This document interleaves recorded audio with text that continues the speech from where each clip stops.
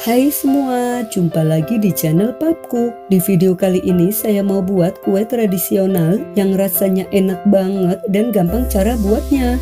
Untuk cara pembuatannya dan bahan apa saja yang saya gunakan, tonton sampai selesai videonya ya. Selamat menonton. Pertama, di sini saya sudah siapkan ubi ungu yang sudah dicuci bersih dan sudah dipotong-potong. Ini beratnya sekitar 300 gram. Kemudian kukus dengan api sedang selama 10 menit.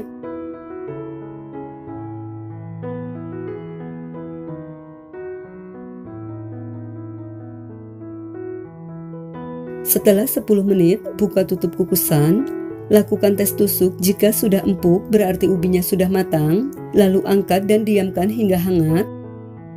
Setelah ubi hangat, kemudian lumatkan ubi menggunakan garpu. Tujuan didiamkan hingga hangat agar ubi tidak terlalu lembek. Ini dilumatkannya tidak sampai halus ya, agar tekstur ubinya masih tetap terlihat.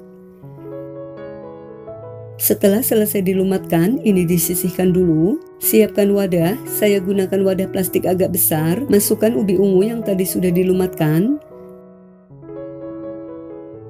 Tambahkan 500 gram tepung ketan putih setara 50 sendok makan sedang.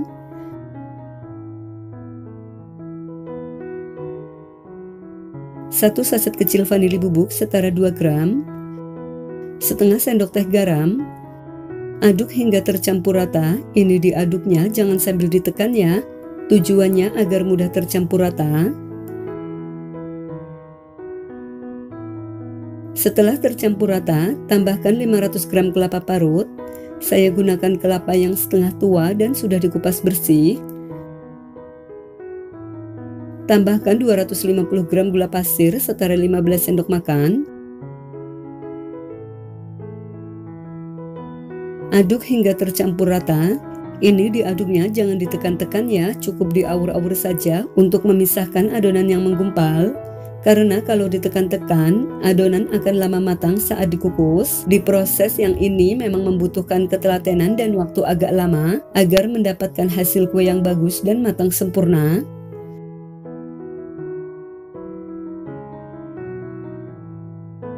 Setelah tercampur rata seperti ini, ini disisihkan dulu. Di sini saya sudah siapkan cetakan puding ukuran 24 cm. Kemudian masukkan adonan ke dalam cetakan ini dimasukkannya cukup dirapihkan dan diratakan saja ya. Jangan ditekan-tekan agar saat dikukus matang sempurna.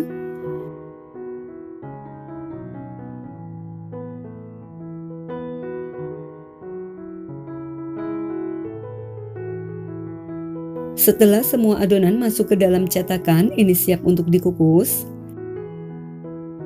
Sebelumnya saya sudah panaskan kukusan, ini airnya sudah mendidih.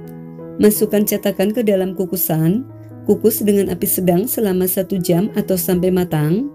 Jangan lupa tutup kukusannya dilapisi dengan kain agar uap air tidak menetes ke dalam adonan.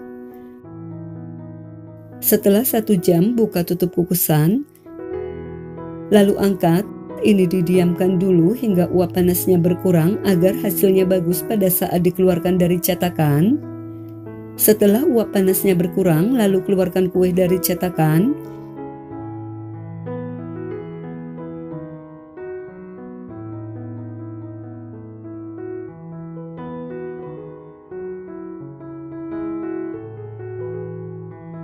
Ini didiamkan dulu hingga hangat atau dingin suhu ruang agar hasilnya bagus pada saat dipotong.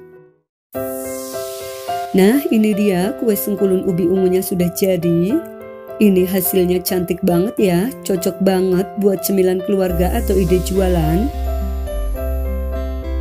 Untuk teksturnya ini lembut banget, bagian dalamnya matang sempurna. Untuk aromanya ini harum banget, wangi ketan dan ubinya berasa sekali. Dijamin kalian tidak akan kecewa karena ini enak banget, manisnya pas, perpaduan ketan dan ubi ungu rasanya mantap. Buat kalian yang mau coba bikin, saya doakan semoga berhasil ya. Selamat mencoba.